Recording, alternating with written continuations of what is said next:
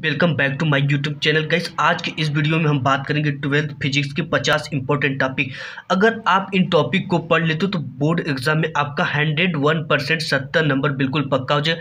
क्योंकि यार, ये जो टॉपिक है ना, इससे एक भी क्वेश्चन बाहर से अगर पूछा तो आप इसके बाद मेरे चैनल को अनसब्सक्राइब कर देना। क्योंकि इसके बाहर से कुछ नहीं पूछा जाएगा। हंड्रेड गारंटी इन क्वेश्चन को आप अभी तैयार कर लो। ठीक है? ये क्वेश्चन आप हर जगह देखोगे कि बोर्ड एग्ज़ाम का कोई भी ऐसा पेपर नहीं है। जिस जिस पेपर में ये क्वेश्चन ना पूछा गया बिल्कुल एक एक क्वेश्चन को समझना। इस क्वेश्चन में आपके अतु लघु लघु उत्तरी, दीर्घ उत्तरी सभी टाइप के क्वेश्चन को हमने सम्मिलित किया गया है। साथ ही साथ कुछ न्यूमेरिकल भी इसमें है। तो ठीक है, जो पहला हमारा क्वेश्चन है, वो है चुंबकीय द्विध्रुव आगुण का मात्रक है। आपको इसका आंसर बताना है। इसके बाद जो नेक्स्ट है हमारा, किसी समान चुंबकीय क्षेत्र में एक इलेक्ट्रॉन क्षेत्र की लंबोत दिशा में प्रवेश करता है। इलेक्ट्रॉन का पथ होगा।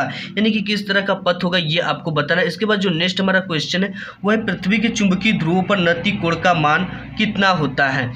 ये चीज़ों को आपको बताना है। देखो, ये एक नंबर टाइप के क्वेश्चन है। इसके बाद पूछा जा सकता है आपका लेंज का नियम।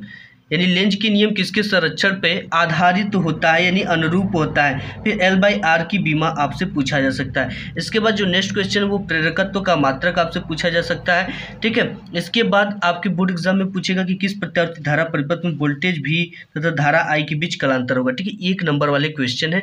इसके बाद यहाँ पे पूछ देगा आपसे विद्युत चुंबकीय तरंगों की प्रकृति होगी, यानी किस तरह से होगी विद्युत चुंबकीय तरंगों की प्रकृति। इसके बाद आपसे पूछा जा सकता है कि किसी विद्युत चुंबकीय तरंग में वैद्युत क्षेत्र का आयाम पाँच वोल्ट पर मीटर, चुंबकीय क्षेत्र का आयाम होगा। ये देखो क्वेश्चन बोर्ड एग्ज़ाम का कोई भी ऐसा पेपर नहीं जिसको जिस कोई पेपर में ये ना पूछा गया। ठीक है, बहुत ज़्यादा इंपॉर्टेंट है यार इस सब चीज़ों को अभी तैयार कर लेना। इसके बाद इसके बाद जो नेक्स्ट है क्वेश्चन वो है आप, ये आपके बोर्ड एग्ज़ाम में आएगा कि कौन सी विद्युत चुंबकीय तरंगे नहीं है। ठीक है, यानी कि कौन सी जो तरंगे वो विद्युत चुंबकीय तरंगे नहीं, ये एक नंबर के टाइप के क्वेश्चन है। इसके बाद ये आपकी क्वेश्चन आ सकता है कि प्लस थ्री तथा माइनस फाइव क्षमता के दो पतले लेंस संपर्क में रखे गए। संयोजन की फोकस दूरी कितनी होगी? ठीक है तो संयोजन की फोकस दूरी का, इसका आपको सॉल्व करना है।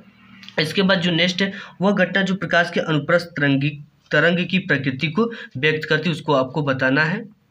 नेक्स्ट क्वेश्चन हुआ है ध्रुवल कोण पी तथा क्रांति कोण सी के बीच में संबंध आपको बताना है।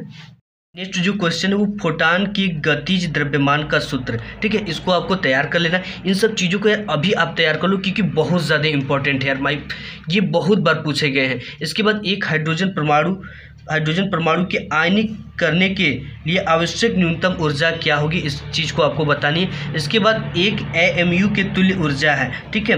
अब इसको आप तैयार कर लें। इसके बाद दो परमाणुओं की परमाणु क्रमांक समान, परंतु परमाणु द्रव्यमान भिन्न है। वे क्या होंगे? ठीक है, उन्हें क्या कहे जाएँगे? इसके बाद रेडियो एक्टिव पदार्थ उत्सर्जित नहीं करता है। फिर है अर्धचालक में वैद्युत चालन होता है। इन सब टॉपिक को आपको तैयार कर लेना है। यार, इन सब चीज़ों को कर लेते तो आपके बोर्ड एग्ज़ाम में सत्तर में सत्तर और इससे एक भी बाहर क्वेश्चन नहीं आने वाले हैं। ठीक है, ये मेरा दावा है। फिर वैद्युत विभव की परिभाषा तथा इसका बीमा लिखिए। इसके बाद आपको डेरिवेशन आएगा कि सिद्ध कीजिए कि ये आपका जे बराबर सिग्मा ई जहाँ ई चालक का वैद्युत ऊर्जा तथा क्षेत्र तथा जे धारा का घनत्व है और सिग्मा विशेष चालकता है। ठीक है, ये आपको प्रूफ करना है। इसके बाद लॉरेंज बल क्या ये आपसे पूछा जाएगा। इसके बाद आपसे, आपके बोर्ड एग्ज़ाम में देगा कि एम्पियर का परिपथीय नियम क्या है। इसके बाद आपके बोर्ड एग्ज़ाम में देगा कि लंबी धारावाही प्रणालिका के भीतर अक्ष पर स्थित बिंदु पर चुंबकीय बल क्षेत्र का सूत्र। ठीक है, इसको आप यार हंड्रेड वन परसेंट इसे तैयार कर लो, क्योंकि ये बोर्ड एग्ज़ाम में आपका रखा हुआ और छप चुका है। इन सब क्वेश्चन आपके बोर्ड पेपर में छप चुके हैं। इसके बाद जो नेक्स्ट है वो ये है कि स्व प्रेरण से आप क्या समझते इसको भी आपको तैयार कर लेना है। इसके बाद जो नेक्स्ट है, वो है कि एक कुंडली का स्व प्रेरण गुणांक 10 मिली हेनरी। इसमें वैद्युत धारा 5 मिली पर मिली सेकेंड में 5 एम्पियर से 15 एम्पियर हो जाती, प्रेरित विद्युत वाहक बल का मान ज्ञात कीजिए।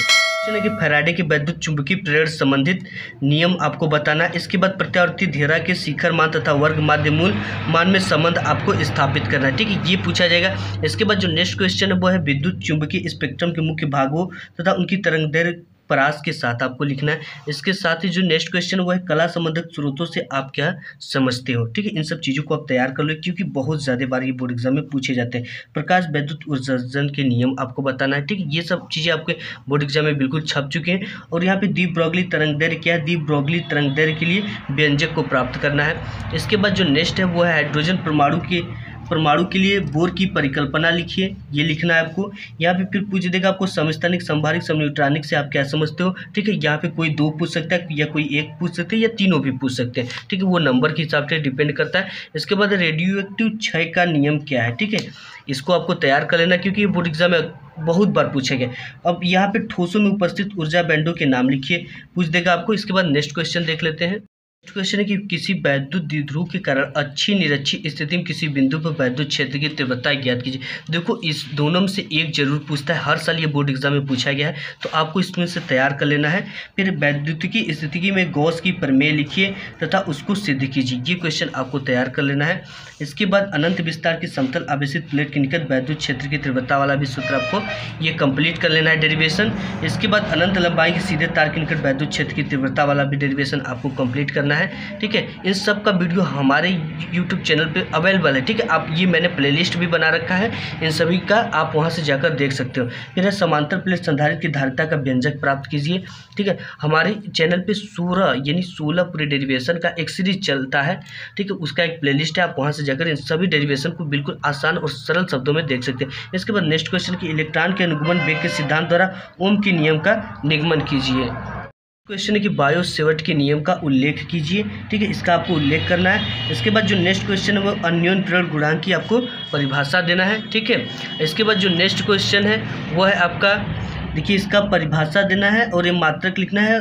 दो समतल कुंडलियों के बीच सूत्र को भी स्थापित करना है। फिर इसके बाद ट्रांसफार्मा का आपको सिद्धांत बताना है कि क्या है इसका सिद्धांत। नेक्स्ट क्वेश्चन की तरंगाग्र किसे कहते हैं? हाइगेंस की द्वितीय तरंगिकाओं का सिद्धांत आपको बताना है, ठीक है? इसके बाद केंद्रीय उचिष्ट की चौड़ाई को ज्ञात कीजिए। फिर लाइमन श्रेणी, बामन श्रेणी पार्सन श्रेणी, ब्रैकेट श्रेणी, फुंड श्रेणी, तरंग तरंग की गणना करना ठीक है? आपको इसमें से कोई एक पूछेगा, दो पूछेगा, तीन भी पूछ सकता है। तो इन सब चीज़ों को आपको बहुत अच्छी तरह से तैयार कर लेना, क्योंकि बोर्ड एग्ज़ाम में हर साल पूछे जाते हैं, ठीक है? इसके बिना कोई क्वेश्चन पेपर ही नहीं बनता। इसके बाद आइंस्टीन का प्रकाश वैद्युत समीकरण को भी आपको तैयार कर लेना इसके बाद half m v square max equal h nu minus nu naught की स्थापना करना है, ठीक है? आइंस्टीन के प्रकाश विद्युत समीकरण half m v square max equal h nu minus nu naught की स्थापना की करना है। इसके बाद आप देख रहे हो। तो आज की वीडियो में बस इतना ही। मिलूँगा एक नेक्स्ट वीडियो में। तब तक के लिए धन्यवाद।